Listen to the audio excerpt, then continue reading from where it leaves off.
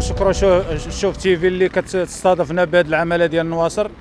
آه، المشكلة الأخ الكريم هو السائق المهني ديال بوزكورة. كيزاول المهنة بطريقة عادية من بكري.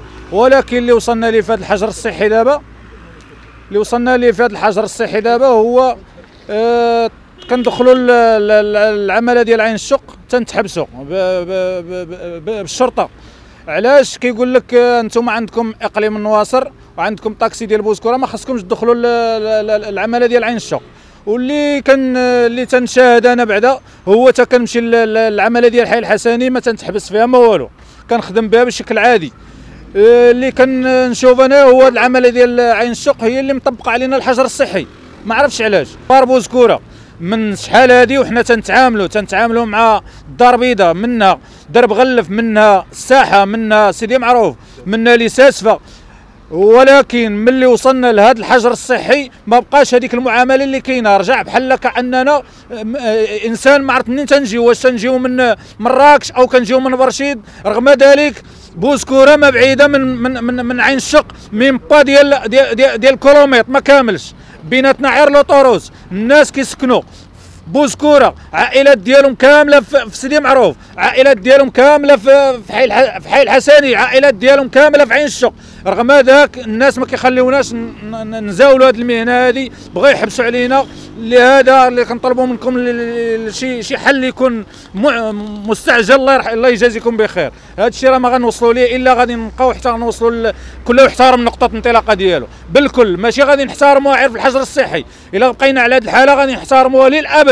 ما عمرنا غادي يكون معاملة بيناتنا. لا مع عين الشق لا مع حي الحسني لا مع أي ديبار في الدار البيضاء كامل. حنا دابا كنطالبوا من السلطات ديال نواصر باش داكشي اللي يطبق علينا حنا مع هاد الإخوان دول عين الشق هما يطبق على الدار البيضاء على الطاكسي ديال الدار البيضاء باش يكونوا عاديين هما يخدموا مدينتهم وحنا نخدموا مدينتنا.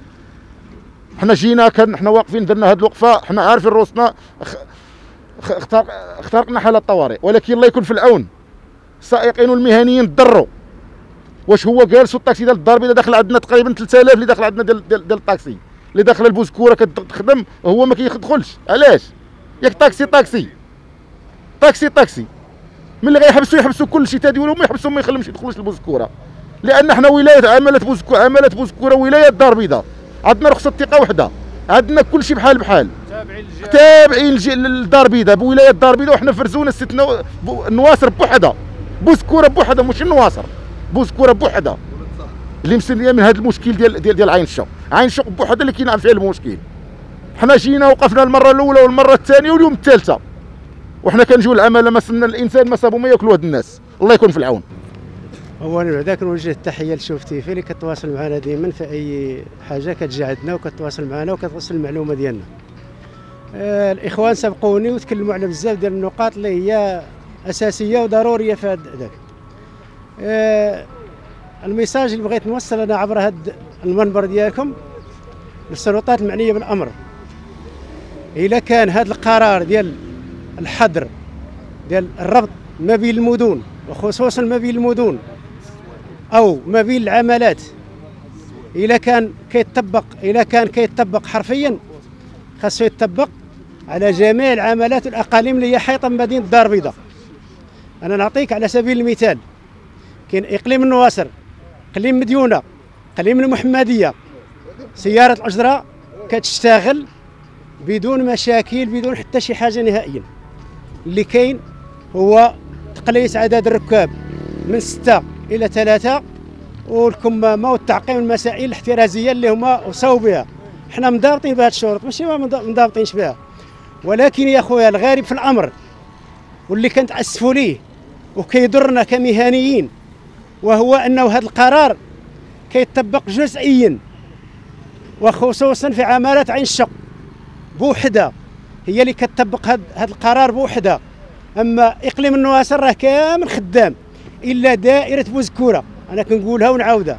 دائرة بوزكورة بوحدها اللي محرومة من العمل داخل مدينة الدار البيضاء.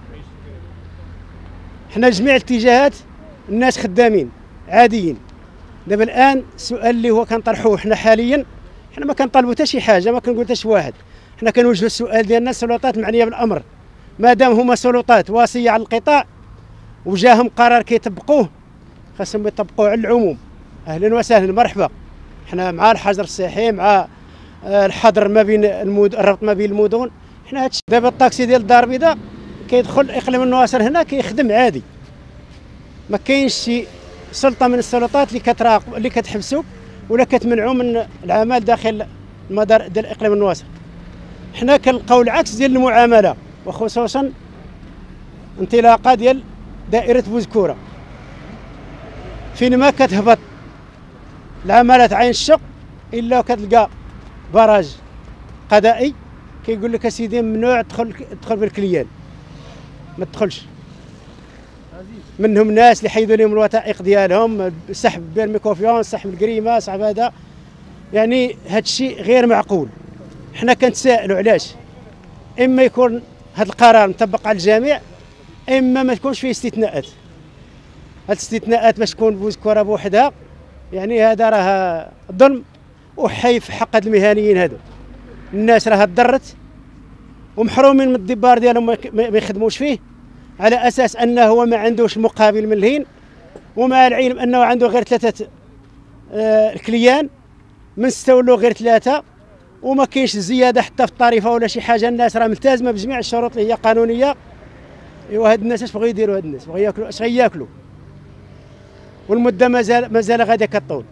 وحنا الآن كما قالوا الإخوان راه الوقفة الأولى والثانية والثالثة ولعل عسى نلقاو شي آذان صاغية اللي يستجيب لنا